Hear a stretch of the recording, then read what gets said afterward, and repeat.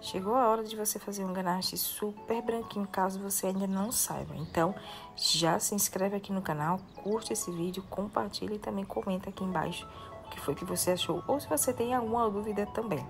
E aqui é o seguinte, a gente para fazer esse ganache de chantilly, eu já levo todos os ingredientes para derreter junto, tá?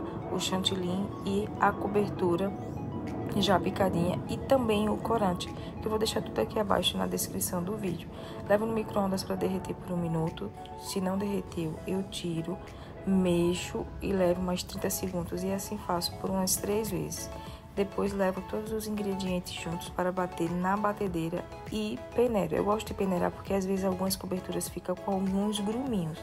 E eu não gosto de correr o risco de deixar que a minha cobertura fico com algum pedacinho de chocolate que não derreteu o suficiente. Espero que você goste. Abraço e olha a descrição do vídeo.